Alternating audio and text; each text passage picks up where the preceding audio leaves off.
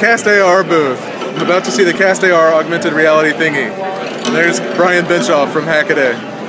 Okay, we'll check it out. Hey, how are you? Tell us about Cast AR. This is Cast AR. Yeah? Um, it's a projected augmented reality. It has a high precision.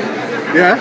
Uh, it has a high precision head tracker at sub-millimeter accuracy. We know your head rotation, distance away, and angle. It's cool. It's got projectors and stuff. Yeah. And it's really hard to show, but it actually shows. Oh, there we go. There you go. You're holding Getting some actual 3D stuff. So they're LCOS, liquid crystal on silicon. And then uh, illumination starts on the side here. Goes down through some homogenizers and some collimating optics through a, a beam splitter and then out through the uh, projection lens. And this is a doublet that um, it's a low distortion lens.